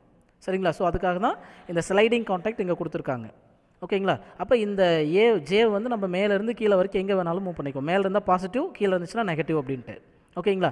சரி. அப்போது இந்த வோல்ட் மீட்டர் இங்கே வந்து பார்த்தீங்கன்னா ஒரு வோல்ட் மீட்டர் கனெக்ட் பண்ணியிருக்கோம். இது ஏன் ஆனோடுக்கும் கேத்தோடுக்கும் இன்பிட்டிவினில் அப்போ இந்த ரெண்டுக்கு இடையில பொட்டன்ஷியல் என்ன அப்படிங்கிறத பாசிட்டிவ் பொட்டன்ஷியலாக நெகட்டிவ் பொட்டன்ஷியல் அதை மெஷர் பண்ணுறதுக்கு வசதியாக இந்த வோல்ட் மீட்டருடைய வேல்யூ சென்டரில் ஜீரோனும் இந்த ரைட் சைடில் ப்ளஸில் இருக்கக்கூடிய மெஷர்மெண்ட்டும் லெஃப்ட் சைடில் நெகட்டிவ் மெஷர்மெண்ட்ஸ் இருக்கிற மாதிரி வோல்ட் மீட்டரை செலக்ட் பண்ணியிருப்போம். ஓகேங்களா? அதான் இங்கே சொல்லியிருப்பான். Uh, a and C with respect to, sorry, the voltmeter is designed to have its uh, zero marking at the current, sorry, center and is connected between the A and C. ஏக்கும் சிக்கு இடையில zero marking இருக்கக்கூடிய ஒரு volt மீட்டரை select பண்ணியிருக்கோம். அதே போல் கரண்ட்டை measure பண்ணுறதுக்கு ஒரு மைக்ரோ அம்மீட்டரை ஆனோடு கூட சீரியஸில் கனெக்ட் பண்ணியிருக்கோம். சரியா? இப்போது uh, இந்த இடத்துல வந்து ஒரு குவார்ட்ஸ் விண்டோ யூஸ் பண்ணியிருக்காங்க. இந்த குவார்ட்ஸ் விண்டோ என்ன பண்ணுன்னா ரேடியேஷன்ஸ் அலோவ் பண்ணுறது இங்கே அலோவ் பண்ணும். சரிங்களா? ஓகே இப்போது இந்த சோர்ஸ்லேருந்து வரக்கூடிய ரேடியேஷன்ஸ் எதுவும் இங்கே வரல. அதாவது சோர்ஸ்லேருந்து எந்த ரேடியேஷனும் வரல அப்படின்னா there is no current in the micrometer அப்போ மைக்ரோமீட்டரில் தேர் இஸ் நோ கரண்ட்டுங்கிறனால ஜீரோ டிஃப்ளக்ஷன் இருக்கும். சரியா? எப்போ வந்து ஒரு அல்ட்ரா வயலட்டோ அல்லது விசிபிள் ரேடியேஷனோ வந்து இந்த கேத்தோடு மேலே இன்சிடென்ட் ஆகும்போது இது வந்து லோ ஒர்க் ஃபங்க்ஷன் இருக்கக்கூடிய போட்டோ சென்சிட்டிவ் மெட்டீரியலாக இருந்துச்சுன்னா இது எலக்ட்ரான்ஸை ஈஸியாக ரிலீஸ் பண்ணும். அப்போ வந்து இந்த எலக்ட்ரான்ஸ் ஆனோட ரீச் பண்ணும்போது இந்த சர்க்யூட் கம்ப்ளீட் ஆகி நமக்கு வந்து இந்த சர்க்யூட்டில் கரண்ட் ஃப்ளோ ஆகும். கரண்ட் ஃப்ளோ ஆகும்போது மைக்ரோமீட்டரில் நம்ம வந்து ரீடிங்கை பார்க்கும்போது நமக்கு எவ்வளோ கரண்ட் ப்ரொடியூஸ் ஆகிருக்கு அப்படிங்கிறது தெரிஞ்சுக்கலாம். ஸோ அப்போ கரண்ட்டு எவ்வளோ ஃபார்ம் ஆகுறது இந்த கரண்ட்டை தான் நம்ம என்னென்னு சொல்லணும்னா ஃபோட்டோ எலக்ட்ரிக் கரண்ட் அப்படின்னு சொல்லியிருப்போம். சரியா? அப்போது while measure using the micro ammeter இந்த கரண்ட்டை நம்ம வந்து மைக்ரோ அம்மீட்டர் மூலிமா மெஷர் பண்ணிக்கலாம். சரி. இப்போது வந்து ஒரு பர்டிகுலர் இன்டென்சிட்டி பர்டிகுலர் ஃப்ரீக்வன்சியில் வரக்கூடிய லைட்னால் எவ்வளோ கரண்ட் ப்ரொடியூஸ் ஆச்சு அதுதான் வந்து ஃபோட்டோ கரண்ட் அப்படின்னு சொல்லியாச்சு. இப்போது ஃபோட்டோ கரண்ட் எதெல்லாம் டிபெண்ட் பண்ணி வேரி ஆகும் அப்படின்னு சொல்லி பார்த்தீங்கன்னா இன்டென்சிட்டி ஆஃப் இன்சிடென்ட் லைட் லைட்டோட இன்டென்சிட்டியை பொறுத்து வேரி ஆகும். அதுக்கப்புறம் அந்த எலக்ட்ரோன்ஸுக்கு இடையில் இருக்கக்கூடிய பொட்டன்ஷியல் டிஃப்ரென்ஸை டிபெண்ட் பண்ணியும் ஃபோட்டோ கரண்ட் வேரி ஆகும். நெக்ஸ்ட்டு நேச்சர் ஆஃப் தி மெட்டீரியலை டிபெண்ட் பண்ணியும் ஃபோட்டோ கரண்ட் வேரி ஆகும். யூஸ் பண்ணக்கூடிய லைட்டோடைய ஃப்ரீக்வன்சியை டிபெண்ட் பண்ணியும் நமக்கு வந்து ஃப்ரீ ஃபோட்டோ கரண்ட் வேரி ஆகும். ஸோ இந்த நாலு கான்செப்ட்னாலையும் ஃபோட்டோ கரண்ட் வேரி ஆகுது அப்படிங்கிறத நம்ம எப்படி அப்படிங்கிறத டிஸ்கஸ் பண்ண இருக்கிறோம் ஃபஸ்ட் வந்து பார்த்திங்கன்னா the effect of intensity of incident light on photo electric current intensity of incident லைட்னால photo electric current எப்படி வேரி ஆகுது? அப்படின்னு சொல்லி பார்க்கலாம். சரியா?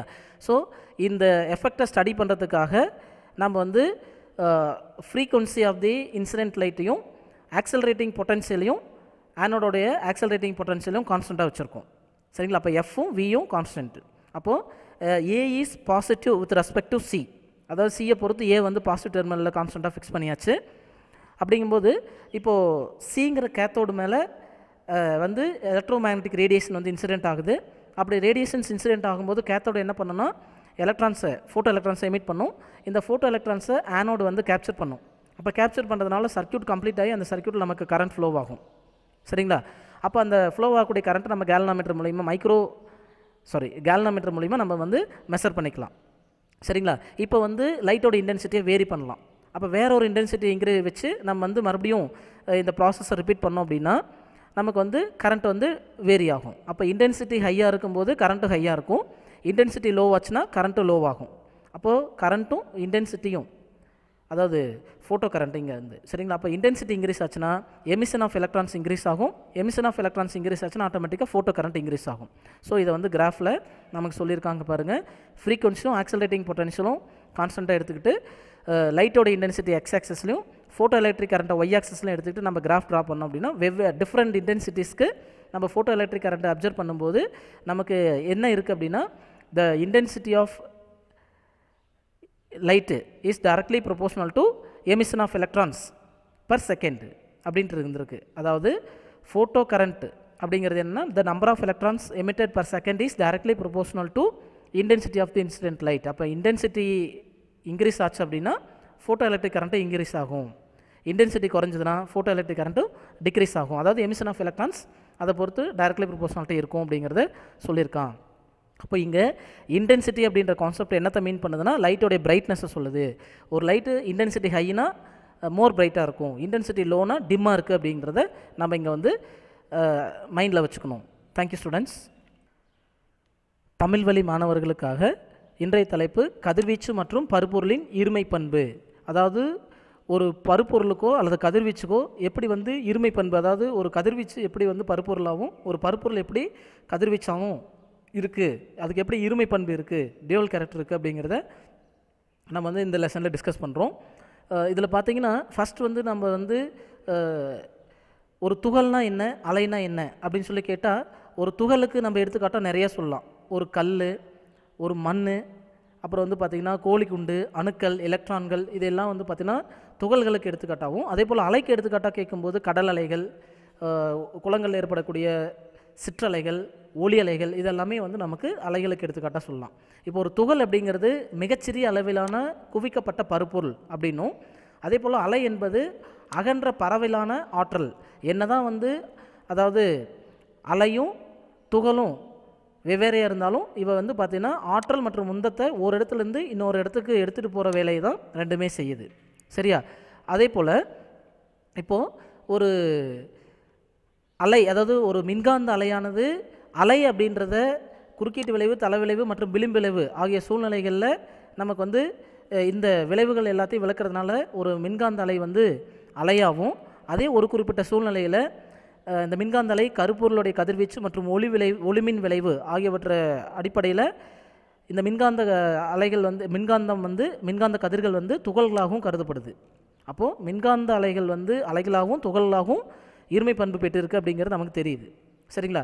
ஸோ அப்போது ஆரம்பத்தில் எலக்ட்ரான் புரோட்டான் இதெல்லாமே வந்து நிறை மற்றும் மின்னூட்டம் இருக்கிறதுனால இதை வந்து துகளாக தான் கருதப்பட்டது. ஆனால் பின்னாடி தான் வந்து இதுக்கு என்ன இருக்குன்னா அலைப்பண்பு இருக்குது அப்படிங்கிறத சோதனை மூலியமாக செய்யப்பட்டுச்சு. அப்போது ஒரு துகளுக்கு எப்படி அலைப்பண்பு இருக்கும் ஒரு அலைக்கு எப்படி துகள் பண்பு இருக்குது அப்படிங்கிறத நம்ம இந்த லெசனில் டிஸ்கஸ் பண்ணலாம்.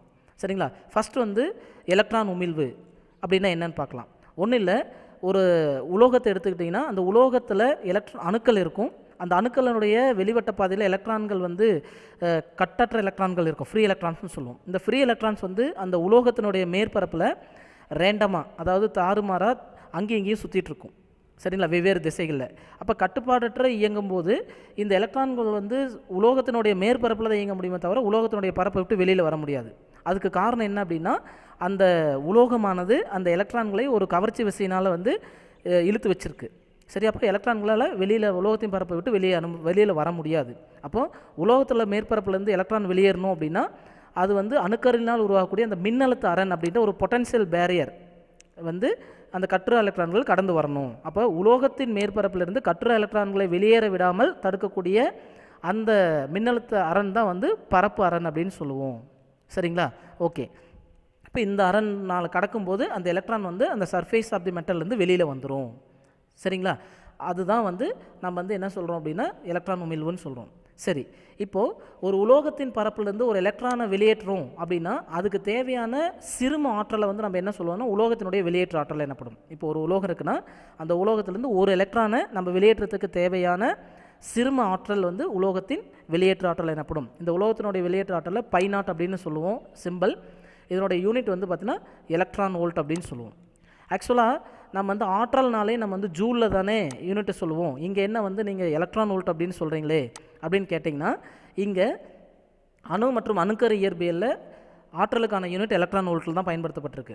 அதே போல் ஒரு எலக்ட்ரான் வோல்ட் அப்படிங்கிறது ஒரு எலக்ட்ரானானது ஒரு வோல்ட் மின்னழுத்த வேறுபாட்டினால் முடுக்கப்படும் போது அது பெறக்கூடிய இயக்காற்றலின் அளவு தான் ஒரு எலக்ட்ரான் வோல்ட் அப்படின்னு சொல்கிறோம் அப்போது ஒரு electron volt is equal to இது எலக்ட்ரானுடைய இயக்காற்றல். அந்த இயக்காற்றல் வந்து எலக்ட்ரான் மீது செய்யப்படுற வேலைக்கு சமம். அப்போ கியூ இன்ட்டு வின்னு எழுதுனீங்கன்னா கியூவோட மதிப்பையும் வி ஒன் வோல்ட் அப்ளை பண்ணிங்கன்னா ஒரு எலக்ட்ரான் வோல்ட் அப்படிங்கிறது one point six zero two in ten power minus nineteen joule அப்படின்னு நமக்கு கிடைக்கும்.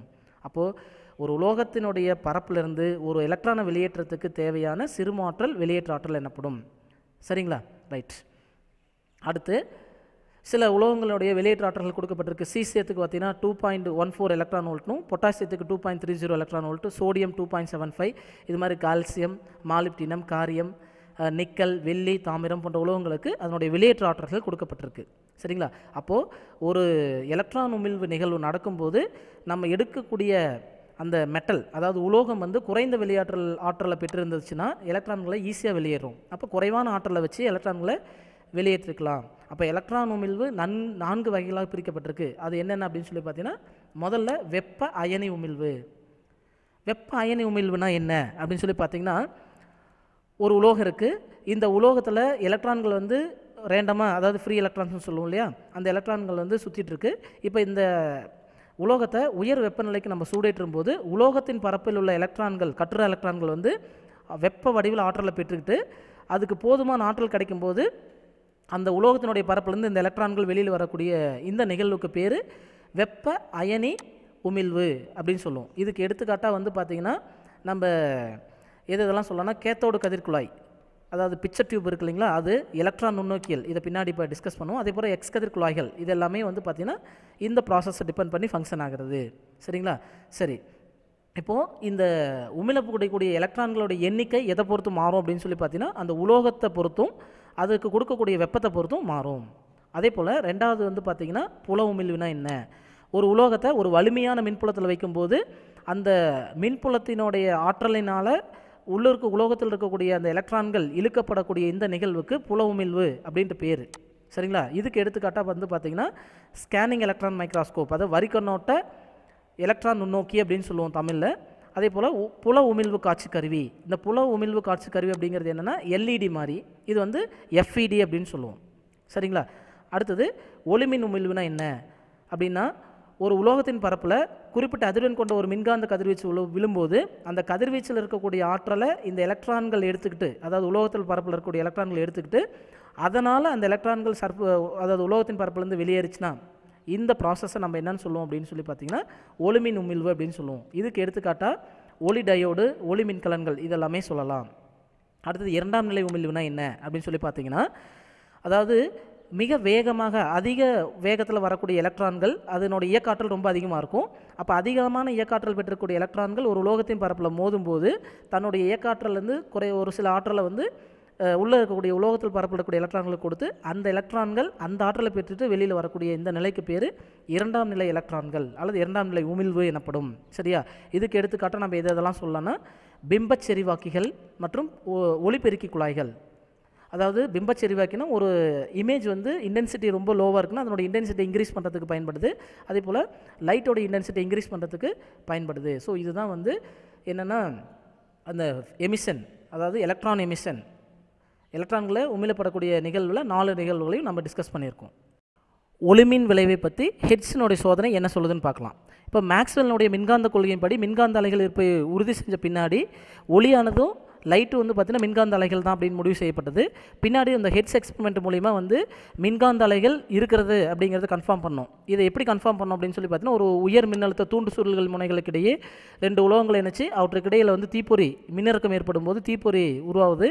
அந்த தீப்பொறியினால் ஏற்படும்போது அந்த தீப்பொறி ஏற்பட்டதுடனே அங்கே இருக்கக்கூடிய சார்ஜ் அதாவது மின் துகள்கள் வந்து முன்னும் பின்னும் தீவிரமாக அலைவுறிஞ்சு நமக்கு வந்து மின்காந்த அலைகள் தோற்றுவிக்கப்படுகிறது.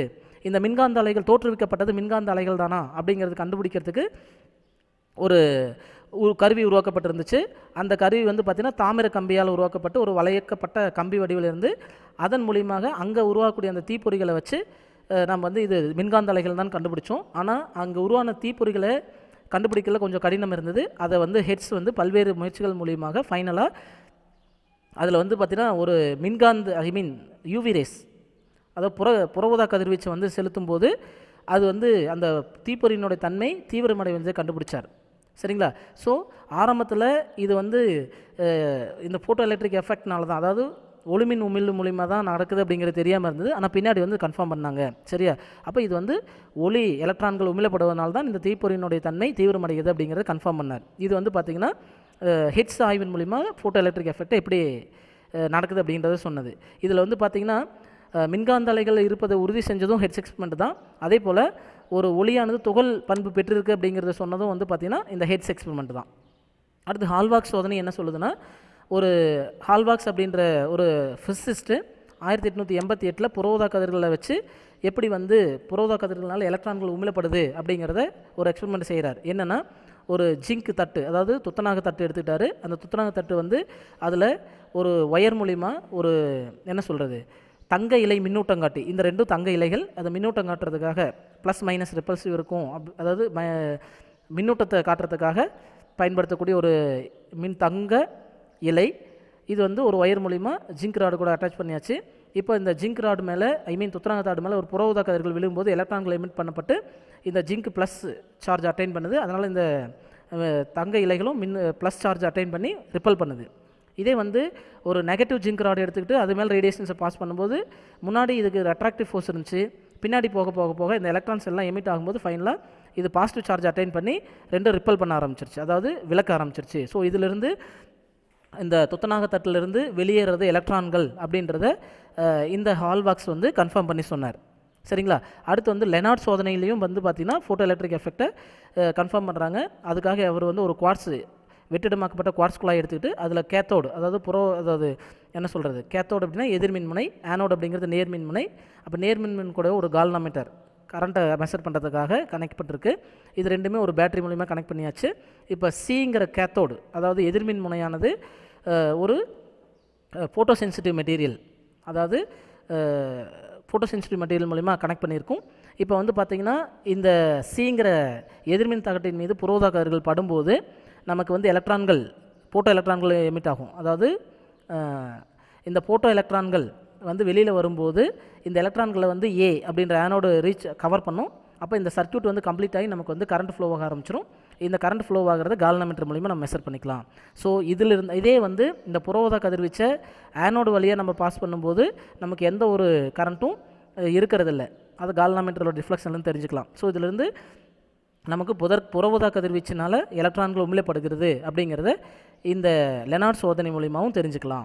சரிங்களா? அடுத்தது ஒளிமின் விளைவுனா என்ன? அப்படின்னு சொல்லி பார்த்தீங்கன்னா ஒரு உலோகத்தட்டின் மீது ஒளி தகுந்த அலைநீளம் அல்லது அதிர்வெண் கொ- அதிர்வெண் கொண்ட மின்கதிர் காந்த கதிர்வீச்சு படும்போது அதிலிருந்து எலக்ட்ரான்கள் உமிழப்படுகின்றன. ஒரு உலோகத்தின் மீது தகுந்த அலைநீளம் அல்லது அதிர்வெண் கொண்ட மின்காந்த கதிர்வீச்சு படும்போது எலக்ட்ரான்கள் உமிழப்படக்கூடிய இந்த நிகழ்வுக்கு தான் ஒளிமின் விளைவு அப்படின்னு சொல்லுவோம்.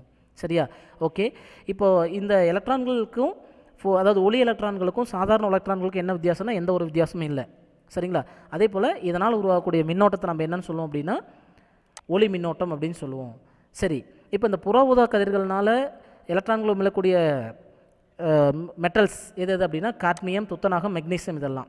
அதே போல் கார உலோகங்கள் சில வந்து சாதாரண கண்ணூர் ஒளி படும்போதே நமக்கு வந்து நமக்கு வந்து எலக்ட்ரான்கள் உமிழும் அது எதுனா லித்தியம் சோடியம் சீசியம் இதெல்லாம் வந்து சாதாரண கண்ணூர் ஒளினால் கூட நமக்கு வந்து எலக்ட்ரான்கள் உமிழும் அப்படிங்கிறத தெரிஞ்சுச்சுக்கலாம். சரிங்களா? ஓகே இதை இப்படி தகுந்த அலைநீளம் கொண்ட மின்காந்த அலைகள் படுவதால் ஒளி எலக்ட்ரான்களை உமிழக்கூடிய பொருட்களுக்கு ஒளி உணர் பொருட்கள் அதாவது ஃபோட்டோ சென்சிட்டிவ் மெட்டீரியல்ஸ் அப்படின்னு சொல்லுவோம். ஓகேங்களா? சரி. அடுத்து வந்து பார்த்திங்கன்னா மின்னோட்டத்தின் மீதான படுகதிரின் செறிவு. அதாவது படுகதிரை பொறுத்து ஒரு ஒளி மின்னோட்டம் எவ்வாறு மாறுபடுது அப்படிங்கிறத தெரிஞ்சுக்கிறதுக்கு ஒரு சோதனை அமைப்பு இருக்குது அதில் பார்த்தீங்கன்னா ஒரு ஒரு வெற்றிடமாக்கப்பட்ட கண்ணாடி குழாய். இந்த கண்ணாடி குழாய்க்குள்ளே ஒரு ஒளி உணர்தட்டு கேத்தோடாகவும் ஆனோடாகவும் ஒரு மெட்டல் இருக்குது இந்த ரெண்டுமே பார்த்திங்கன்னா ஒரு பேட்டரியில் ப்ளஸ் மைனஸ் டெர்மினலில் கனெக்ட் பண்ணியிருக்கு.